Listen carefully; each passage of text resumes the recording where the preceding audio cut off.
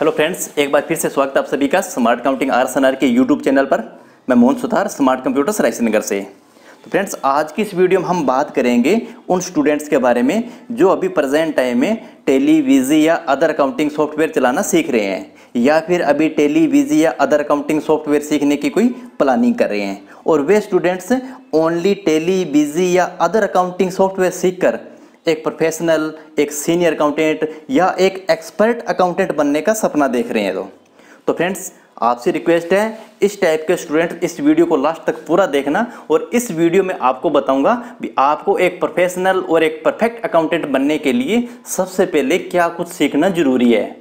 तो friends, video शुरू करने से पहले आपसे रिक्वेस्ट है, अभी तक आपने इस चैनल को सब्सक्राइब नहीं किया है तो चैनल को आप सब्सक्राइब ज़रूर कर लें और बेल आइकन का बटन प्रेस करके ऑल नोटिफिकेशन पर ज़रूर क्लिक कर लें, ताकि हमारी आने वाली हर नई नई वीडियो का नोटिफिकेशन आपको समय समय पर मिलता रहेगा।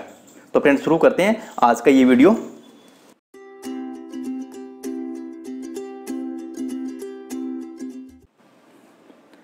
तो फ्रेंड जब भी कोई फ्रेशर स्टूडेंट्स डेली या बीजी सीखने के लिए किसी इंस्टीट्यूट में जाके अपना एडमिशन लेता है अकाउंटिंग कोर्स के लिए तो उसके पीछे दो रीज़न होते हैं। पहला रीज़न भी वो स्टूडेंट्स अपनी इच्छा के अनुसार वो कोर्स कर रहे हैं, भी उसे पता है भी मुझे एक प्रोफेशनल अकाउंटेंट एक परफेक्ट अकाउंटेंट या एक टैक्स का एक परफेक्ट अकाउंटेंट मुझे बनना है। और दूसरा रीज़न ये हो सकता है, भी वो अपने फ्रेंड्स या अपने रिलेटिव से या रिश्तेदारों से रिकमेंडेड किया हुआ है। यानी उसे किसी रिश्तेदार या किसी फ्रेंड्स ने उसे ये बोल दिया भी भाई आप टेली या बिज़ी या अकाउंटिंग कोर्स कर लो आप और आपको मैं मेरी कंपनी में एज ए अकाउंटेंट की जॉब दिलवा दूँगा। तो फ्रेंड जब भी फ्रेशर स्टूडेंट्स किसी इंस्टीट्यूट में जाके अपना एडमिशन लेते हैं तो उसे बिल्कुल कुछ भी नहीं पता होता मुझे क्या सीखना चाहिए और क्या मुझे सिखाया जा रहा है।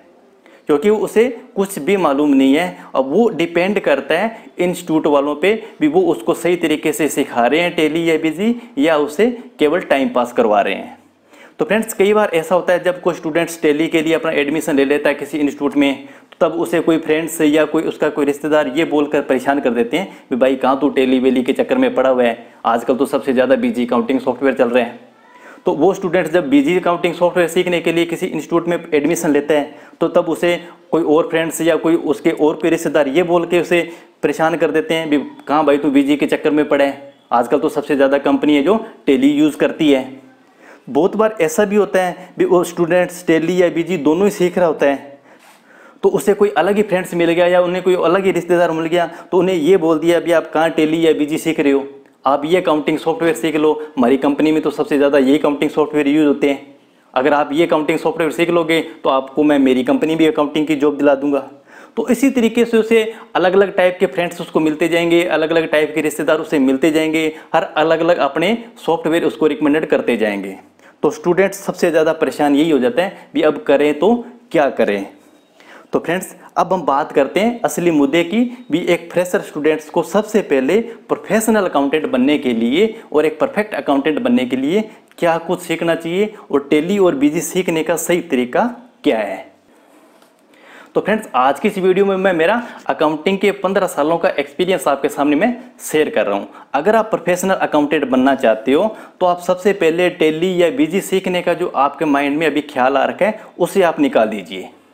यानी कि आप अपने माइंड में ये मत रखो भी मुझे टेली या बीजी सीखनी है। क्योंकि टेली बीजी अकाउंटिंग के सबसे पुराने सॉफ्टवेयर हैं तो इसलिए हर एक एक स्टूडेंट्स की ज़ुबान पे आया है, चलो हम टेली सीख लेते हैं। भी मेरा फ्रेंड्स है, उस कंपनी में जॉब कर रहा है, वो टेली में एज अकाउंटेंट की वर्क कर रहा है, या मेरा कोई रिलेटिव है, वो टेली या बीजी सीख उसे कंपनी ने ज्वाइन किया हुआ है, और वहाँ पर वो अकाउंटेंट की जॉब कर रहा है। तो सबसे पहले आपसे मैं रिक्वेस्ट करूँगा, आप टेली या बीजी सीखने का अगर आपके माइंड में ख्याल है तो आप उसे बिल्कुल निकाल दीजिए।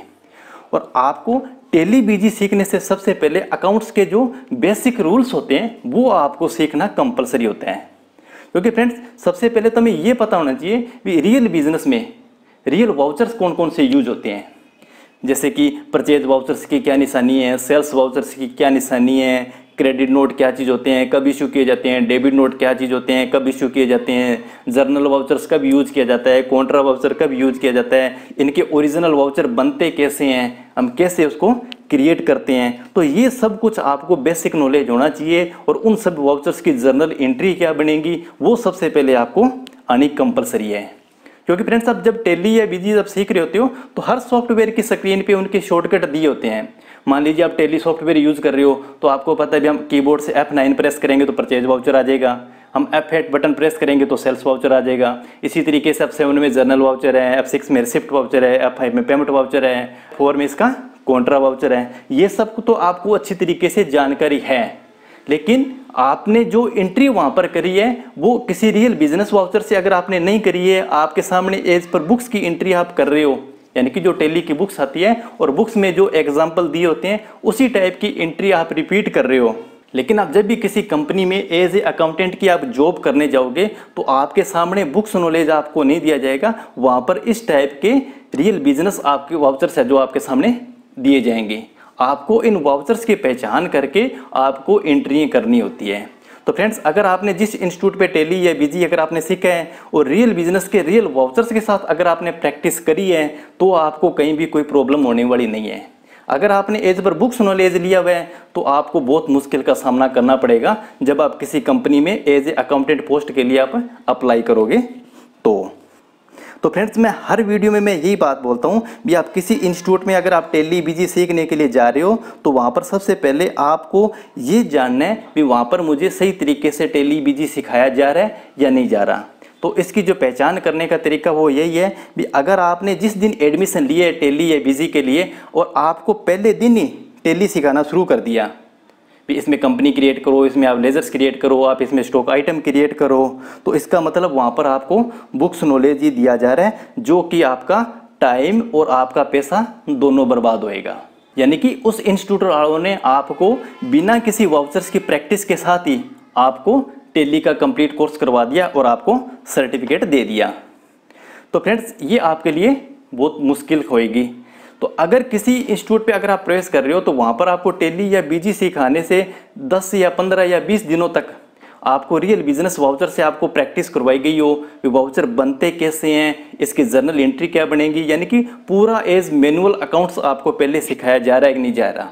अगर आपको मैनुअल अकाउंटिंग सिखाई जा रही है वहाँ पे, भी सही तरीके से इसके वाउचर्स कैसे बनते हैं परचेज वाउचर कैसे क्रिएट किए जाते हैं, उसकी जर्नल एंट्री कैसे बनेंगी, हम उसकी डे बुक कैसे तैयार करेंगे डे बुक के बाद उसकी लेज़र में हम पोस्टिंग कैसे करेंगे, और लेज़र में पोस्टिंग करने के बाद इसका हम ट्रायल बैलेंस यानी कि तलपट कैसे बनाया जाता है, उसके बाद बुक्स की फाइनलाइजेशन कैसे होगी यानी कि ट्रेडिंग काउंट कैसे बनेगा प्रॉफिट एंड लॉस काउंट कैसे बनेगा बैलेंस शीट कैसे बनेगी, कौन सा लेजर है जो ट्रेडिंग काउंट का पार्ट है, कौन सा ledger profit and loss count का पार्ट है कौन सा लेजर बैलेंस शीट का पार्ट है, उसके बाद में जीएसटी की रिटर्नें कैसे तैयार होती है, जो आपने वाउचर्स तैयार किए हैं, उस वाउचर्स के आधार पे आपकी जीएसटी की रिटर्नें कैसे तैयार होगी जीएसटी आर थ्री बी कैसे तैयार होगी जीएसटी आर वन कैसे तैयार करोगे जीएसटी आर टू कैसे तैयार करोगे जीएसटी आर आपकी फोर कैसे तैयार होगी जीएसटी आर नाइन कैसे तैयार होगी। तो ये सब कुछ अगर आपने मैनुअल प्रैक्टिस के साथ अपने हाथों से प्रैक्टिस करी है तो इसका मतलब वहाँ पर आपको अच्छी तरीके से अकाउंटिंग सिखाई जाएगी।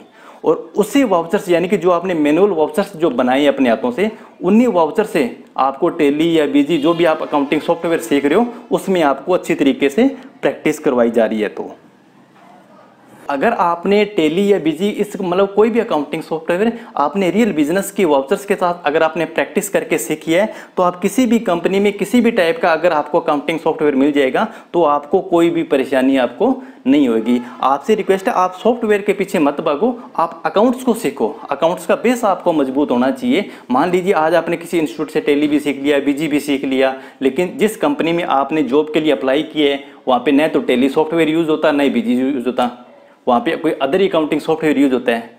तो अगर आपकी परफेक्ट अकाउंटिंग यानी कि आपने रियल बिज़नेस से अकाउंटिंग आपने सीखी हुई है वाउचर से तो आपको उस अकाउंटिंग सॉफ्टवेयर में भी आपको वर्क करने में कोई प्रॉब्लम नहीं होगी अगर आप बिना प्रैक्टिकल के टेलीविजी सीख रहे हो, चाहे फिर आप टेलीविजी अकाउंटिंग सॉफ्टवेयर सीख लो, चाहे इसके साथ आप 50 अकाउंटिंग सॉफ्टवेयर और सीख लो, इसका आपको कोई बेनिफिट नहीं मिलेगा बिना प्रैक्टिस के। सबसे ज़्यादा अकाउंटिंग में ज़रूरत होती है, वो प्रैक्टिस की ही होती है।